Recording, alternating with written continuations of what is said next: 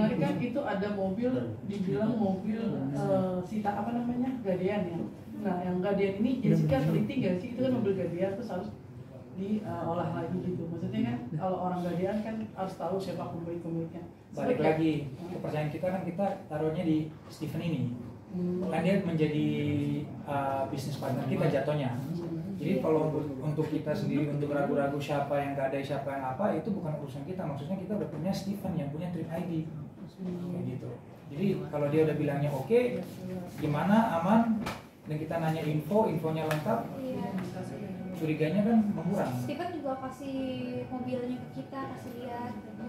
karena ini kan objek. Jadi ini barang-barang yang kita sudah lihat dan kita juga udah udah pakai sendiri buat buat ngecek kayak gitu loh Yes, berarti nanti eh, CL akan dilarang nggak nonton TV nih sejak setelah kamu jumpa pas ini. Kalau El kebetulan dia tontonannya beda. jarang iya dia jarang nonton TV apalagi berita boro-boro ya kan Lebih ke games kalau Lebih ke El. games. berarti ngaruh nggak perekonomiannya sekarang dia secara dengan kerugian yang begitu banyak sekarang ini Ya kalau namanya kehilangan eh, materi pasti berpengaruh pada pada kita sebagai keluarga.